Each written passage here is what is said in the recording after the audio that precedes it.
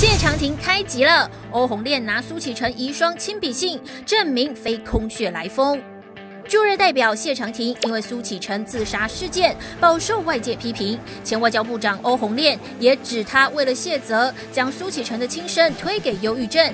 谢长廷为此告欧红炼，并求偿八十万元。但欧红炼日前开庭，拿出苏七写的亲笔信，证明所言并非空穴来风。事件起因于二零一八年九月，燕子台风侵袭日本，上千台湾旅客受困关西机场。当时驻大阪办事处处长苏启成因不堪舆论压力轻生，引发社会震惊。她的遗孀事后发表声明，强调丈夫没有忧郁症，遗书也没提到假新闻造成压力，而是表示不想受到羞辱，在开检讨会前一天以死明志。前外交部长欧红炼得年初接受电台访问，指谢长廷为了脱罪，才说苏启成有忧郁症，所以自杀，导致许多网友骂谢长廷早就该下台。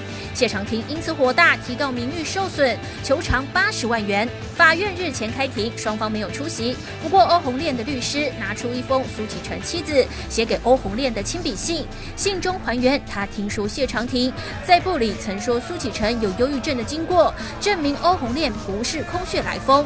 不过信中详细内容，记者致电欧红炼，他仅表示案件仍在法院审理中。东新闻台北报道。